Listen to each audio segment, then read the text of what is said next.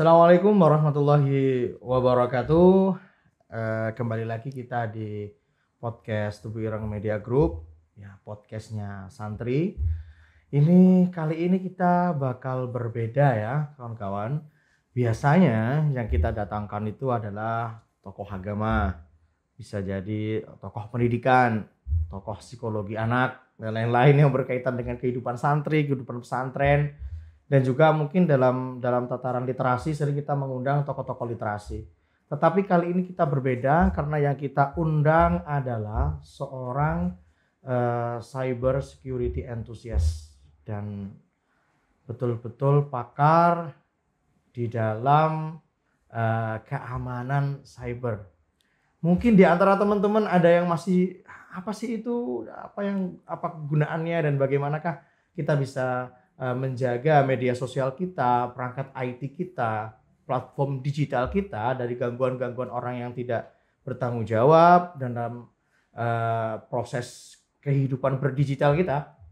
Mari kita sapa beliau adalah Mbak Meta. Assalamualaikum Bapak. Waalaikumsalam warahmatullahi wabarakatuh. Gimana kabarnya? Alhamdulillah baik. Sehat. Sehat Ya sehat Allah. alhamdulillah. Kita datangkan betul ini dari Jakarta. Insyaallah. Seorang eh, influencer di bidang eh, cyber security dan pada kali ini kita akan banyak lagi berdiskusi berkaitan dengan bagaimanakah kita eh, bijak dalam bermedia sosial, bijak dalam menggunakan platform digital dan bagaimana cara menjaga mereka.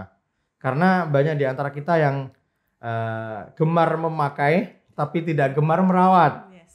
suka bermedia sosial tapi tidak tahu bagaimana cara maintenance eh, meng- apa, me- melakukan treatment media sosial yang aman, nyaman dan tidak membuat kita menjadi rugi gitu ya. Hmm. Karena kerugian itu biasanya datang di saat kita lagi senang-senangnya. Oke, Mbak Meta, Iya, gimana gimana.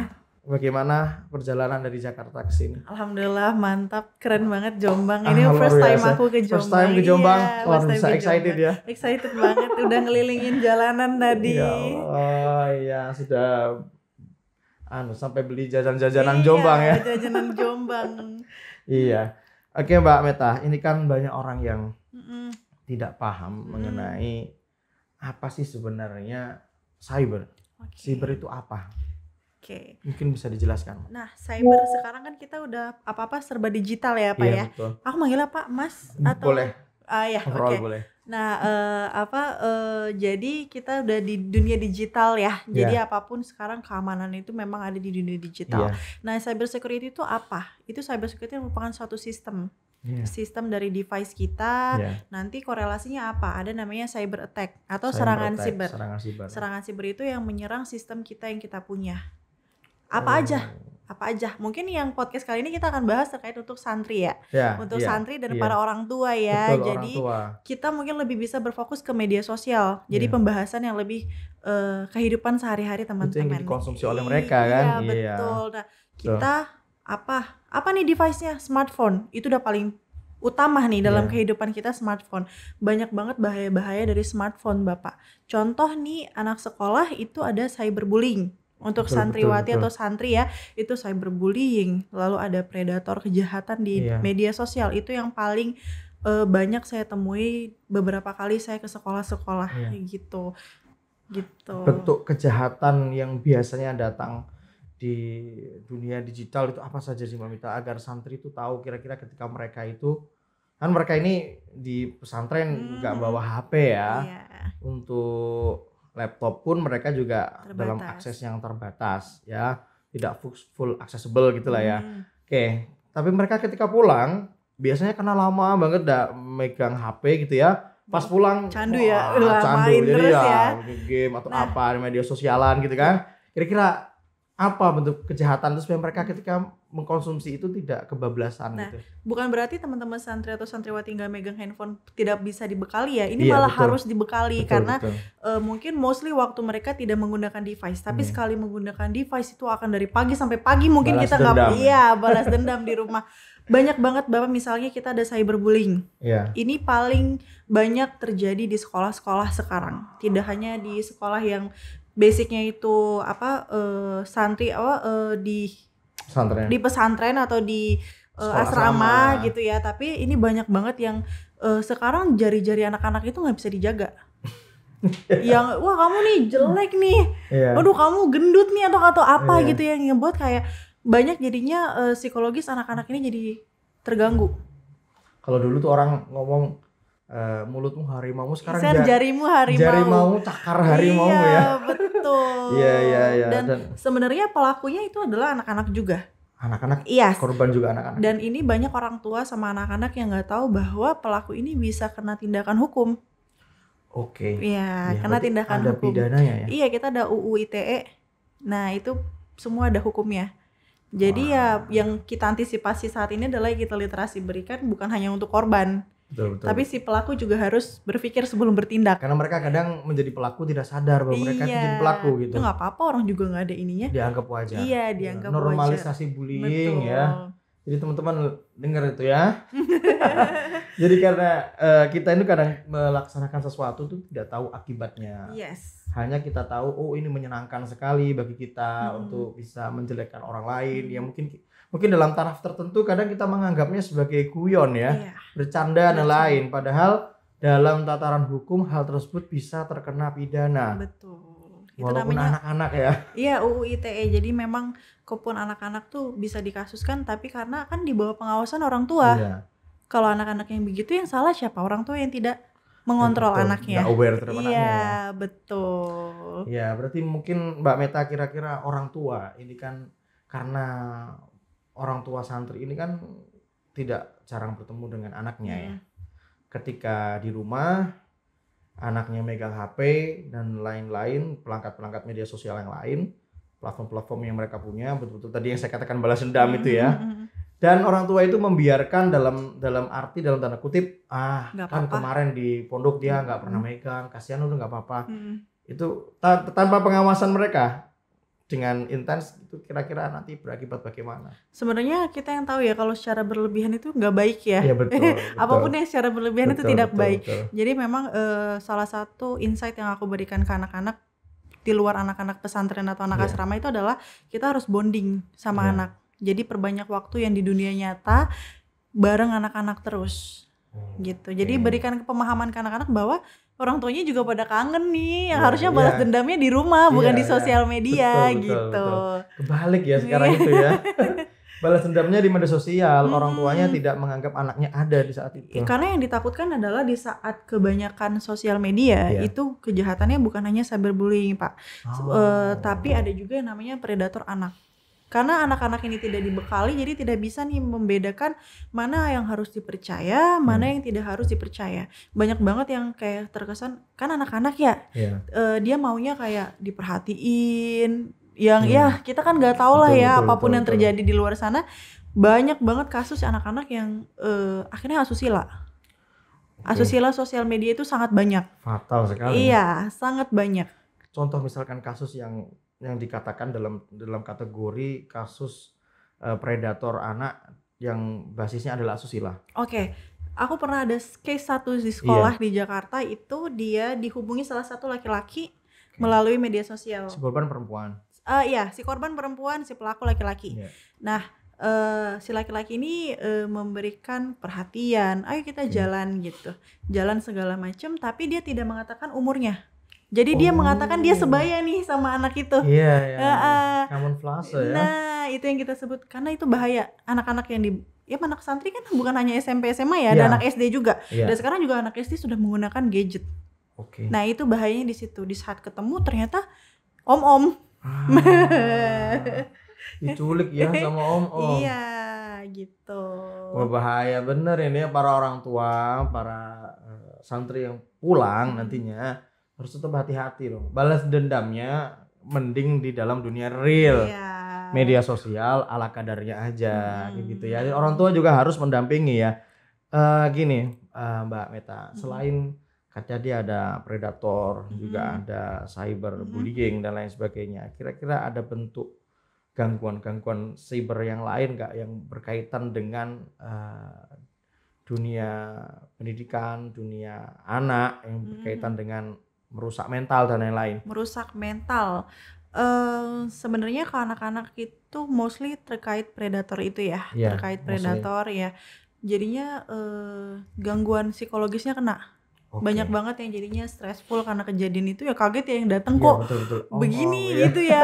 Jadinya dia takut. Eh iya, ekspektasinya seumuran Iya, ya. nah cyberbullying juga dampaknya sangat keras sekali, Pak.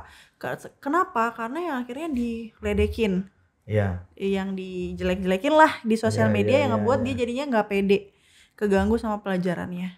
Apa itu juga yang kadang membuat eh, perkenalan-perkenalan melalui media sosial itu yang membuat eh, beberapa kasus itu ada pelecehan seksual secara Yes, langsung. betul. Atau bukan hanya secara langsung teman-teman di media sosial itu juga bisa terjadi pelecehan. Oke. Membujuk, merayu untuk mengirimkan sesuatu yang tidak harusnya Oke. dikirimkan. Oke, Nah, itu juga sering terjadi Iya, ya. itu sering terjadi dan ini biasa rata-rata di anak SMA yang sudah mengerti ya, yang Iya. sudah mengerti di anak-anak eh, remaja lah istilahnya dan mereka tidak mengerti. Ada satu case yang mau aku infokan bahwa walaupun foto atau video itu dihapus, itu kita masih tetap bisa forensik. Jadi luar tidak akan hilang 100%. Para predator jangan pernah berpikir kabur Bisa. karena masih bisa dilacak Iya. oleh forensik, digital Iya, forensik. Iya, jadi mau biasa. handphonenya rusak, mau handphonenya mati Iya, 100% iya, iya, iya. pun itu bisa kita bangkitkan lagi Betul data-datanya. betul betul. Jadi gitu. Banyak yang nggak tahu ini jadi seakan-akan ya udah nggak apa-apa gitu. Jo juga tuh juga udah dihapus, no enggak gitu, nggak segampang itu gitu. Iya tidak segampang itu ya. Hmm. Jadi kalau mau melakukan ke- kejahatan-kejahatan begitu pikir-pikir lagi deh ya. ya takutnya nanti masa depan Anda menjadi suram. Niatnya mungkin untuk bercanda, Bercanda. tapi ternyata berujung pada jeruji Iya, besi. Oke, kira-kira untuk mencegah karena kan tadi kita Hmm. bahasnya soal ketika pasca kejadian ya. Hmm, Tapi kalau untuk mencegah, ini kan yang lebih penting ya, Mm-mm. sedia payung sebelum hujan. hujan. Kalau kehujanan terlanjur basah, nunggu keringnya lama ya kan? Nah, iya, Harus dicuci dulu. Kalau mencegah kan, nah ini gimana untuk mencegahnya? Itulah mencegahnya adalah eh, kalau anak-anak ya kita Iya. concernnya ke anak-anak eh, itu orang tua dan para guru Oke. itu nomor satu itu bekal nomor satu untuk anak-anak. Iya. anak-anak. Jadi memang eh, banyak gerakan-gerakan literasi keamanan siber yang anak-anak itu sebenarnya bukan nggak bisa, eh bukan eh, bukan apa ya, bukan mau melakukan apa gitu, tapi lebih ke nggak tahu, nggak tahu dampaknya. nggak tahu dampaknya. Iya, karena dia nggak tahu dampaknya, jadi dia melakukan. Oh. Tapi kalau misal anak-anak ini tahu dampaknya, pasti akan lebih takut lah ya, istilahnya Iya, lebih iya, kayak, iya. eh jangan deh kemarin kan aku bacanya di sini, Iya, betul, eh, betul. kalau datanya dihapus bakal nggak bisa lagi. Berarti otomatis aku tidak akan mengirimkan apa yang Oke, aku yang oke, kirimkan itu oke, gitu oke. ya. Iya, iya, nah, iya. makanya memang harus ada bonding antara orang tua dan anak. termasuk lembaga peran lembaga pendidikan. Iya, peran lembaga Harusnya juga ada edukasi itu kan? betul beberapa sekolah itu sudah mengadakan literasi keamanan siber. Oke. Jadi memang eh, audiensnya itu anak-anak sekolah Iya. dan didampingi para guru. Oke. Gitu. Ini mungkin juga bagi pesantren nggak kalah penting ya. Jadi Mm-mm. kita eh, kayak semacam edukasi Iya. kepada para santri. Barangkali juga bisa ke wali santri, Iya, betul. guru-guru terkait dengan ini tadi tuh. keamanan siber. siber. Jadi biasanya memang eh, Iya. sekolah-sekolah itu di saat jam pengambilan rapor Betul, kan betul, semua berkumpul tuh antara Iya, wali iya, iya, dan iya, orang iya, iya. eh, an- anak-anak didik Iya. kita satukan jadi satu panggung kita Iya, betul, berikan literasi-literasi bahwa memang cybersecurity itu sangat membahayakan untuk anak-anak remaja. Nah ini bagi institusi pesantren-pesantren ini kita tidak bisa menganggap remeh ya, karena Iya. ingat sekali bahwa kekerasan siber atau uh, cybercrime yang berkaitan dengan kejahatan tadi bisa bullying, bisa juga predator anak tadi ya, itu juga tidak hanya menyasar sekolah umum, sekolah yang berbasis pesantren atau asrama juga bisa jadi bisa.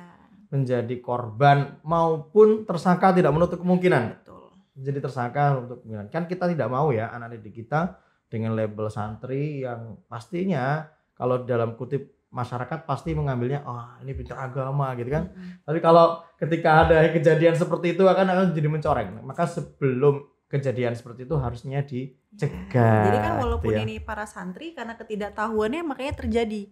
oke Di saat mereka Ya, tahu, ya. insya Allah tidak akan terjadi. oke Gitu. Makanya sedia payung sebelum hujan. sedia payung sebelum hujan oke ini kan ada satu case lagi ya mbak. Meta ya terkait dengan terkadang eh, karena orang tua dengan anak ini kan di pesantren itu kan Hmm. jauh ya, Hmm. tidak tidak tinggal di satu tempat. Mm-mm. Orang tua di rumah, anak di pesantren. Kadang eh, ketika ada gap ini ada beberapa penipu- penipuan-penipuan yang berbasis eh, digital Iya, iya. berkaitan dengan anaknya di pondok Saya gitu. kebaca ini. Iya. iya, iya. Ada beberapa kasus itu wali santri dan lain-lain itu mendapatkan telepon misalkan oh anak anaknya bapak terkena ini kecelakaan ini di Hmm. kena narkoba ini atau apa gitu ya di pesantren ada kekerasan dan sebagainya tapi tujuannya adalah untuk uh, mengambil keuntungan finansial dari orang tuanya Berarti eh, Bapak Ibu ini kita bilang adalah scamming. scam Kalau di teknis kita bilangnya scamming. Ya. Mau itu dari telepon, WhatsApp, Ya, email gitu ya. Jadi memang eh, kenapa saya sebutkan literasi ini juga bukan untuk hanya anak-anak, Iya. untuk orang tua dan untuk para Iya. guru. Banyak juga kejadian kayak gitu. Kalau dulu kan nelpon, ya telepon Pak, anak Bapak eh, ini Psikologisnya kecelakaan. saya butuh pengiriman uang sekian. secepatnya Nah, ya. secepatnya. Sekarang nggak menutup kemungkinan juga begitu di sosial media. Kenapa? Karena kita terlalu belak-belakan di sosial ya, media. betul, betul, betul. Saya anak saya punya anak misalnya, Iya, sekolahnya di Tebu Ireng. Otomatis para pelaku tahu dong, wah anaknya di pesantren nih. oke Anak terlalu belak-belakan dengan Terus identitas nama diri. anaknya juga tahu Iya, nama anaknya juga tahu, kelasnya juga berapa juga tahu. Otomatis jadi gampang untuk menghubungi para orang tua. Tidak boleh sebelah belakang itu ya Iya. Kita harus mes- jadi kita harus mensaring juga apa yang harus kita upload di sosial media. Iya, iya, iya. Gitu. Berarti tidak boleh segamblang itu untuk Segamblang itu. share segala sesuatu di media sosial ya. Betul. Nah, memang adalah eh, apa nih yang perlu bisa kita lakukan? Ya. Ya, Bapak Ibu lebih aware lagi terhadap apa yang dikirimkan oleh orang-orang. Betul. Ini bener nggak sih dari pesantren yang anak Iya, saya? Betul, betul, betul. Apa cuma nomor yang asal-asalan yang Iya. menghubungi saya? Pasti kan ada PIC-nya ya Iya, dari betul, pesantren betul. ya. Ada, ada. Ah, jadi kalau memang menemukan nih, menemukan ada kasus seperti ini anak saya eh, sakit Iya. dirawat inap kayak gitu kan dari pesantren ini dirawat inap gitu kan butuh uang segini segini segini gitu Iya. ya caranya adalah kita konfirmasi, lagi Konfirmasi. konfirmasi ke PIC yang sudah kita tahu Iya, siapa nomornya berapa di saat itu tidak benar laporkan Oke. oke Berarti itu sebagian besar kemungkinan datang dari data-data yang diambil dikumpulkan dari media sosial. betul Oke. Tapi kalau untuk misalkan ada kebocoran data itu mungkin nggak dari kebocor database yang ada di pesantren? database yes betul makanya Bisa jadi. dari data dari pesantren pun juga harus memperkuat memperkuat infrastruktur IT yang ada di pesantren Oke. karena semua data ada nama orang tuanya ada Iya. alamatnya di mana ada Nomor HP-nya juga iya gitu Oke, oke. Perangkat-perangkatnya juga harus di ini ya, Iya. perangkat keamanannya harus Betul, diperkuat gitu ya. betul. Oke, berarti ada dua kemungkinan ya, Bapak-bapak, Ibu-ibu wali santri. Jadi kalau menerima telepon begitu bisa karena Bapak-bapak dan Ibu-ibu wali santri ketika nge-share segala sesuatu yang berkaitan dengan anaknya itu terlalu vulgar. Sampai barangkali mungkin nama ustadznya dicantumin atau kamar berapa anaknya atau kelas berapa. Jadi sehingga mereka berarti mereka itu mengumpulkan, ya, mengumpulkan ya? informasi makanya kan sebenarnya adalah kalau kita mau upload di sosial media itu lebih baik let post Oke. harus eh, setelah eh, kegiatannya selesai Oke. baru kita upload jangan Oh. secara real time itu juga dapat membahayakan misal nih santri santri libur Iya. liburan nih ke Jogja Iya betul. nah liburan ke Jogja sosial media itu juga bisa membahayakan kenapa di saat kita belak-belakan kita meng, apa eh, mengatakan bahwa kita lagi liburan para penjahat akan bilang wah rumahnya kosong nih Oke. ya Oke, wah, oke. Iya, iya. rumahnya iya, iya, kosong apa yang terjadi di rumah hilang semua Hilang barangnya ya. Itu juga bisa dari situ ya. bisa terjadi Sepinter itu sekarang maling ya. itu namanya maling berbasis digital ya.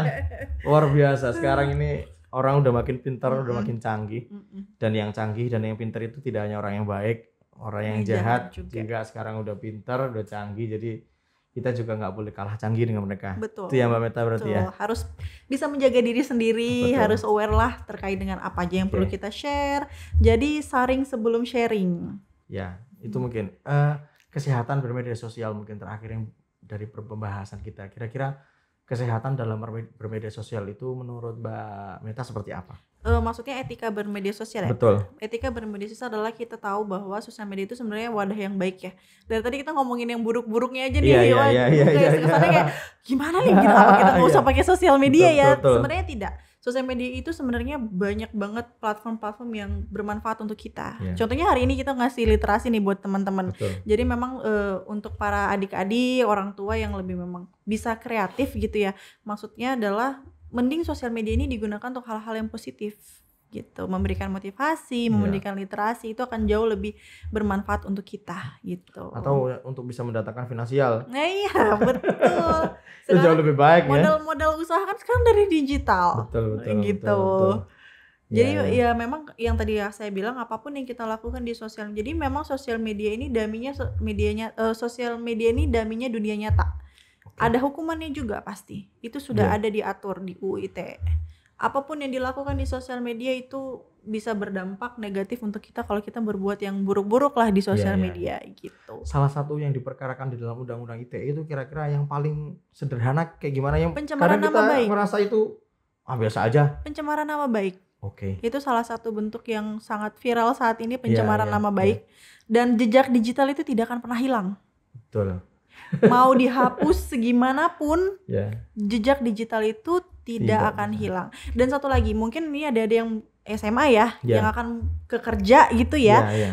HRD sekarang melihat dari media sosial. Oke. Jadi CV dan portofolio itu tidak menjadi acuan utama sekarang buat teman-teman HRD. Teman-teman HRD sosial, sosial media. Jadi beberapa eh, sharing lah sama teman-teman yang Iya. eh, dari HRD juga bilang bahwa di saat ada seseorang ingin melamar, pelamar itu tidak boleh mengunci sosial medianya. Oke. Itu salah satu syarat dari perusahaan-perusahaan. Jadi memang di profiling dulu. Iya.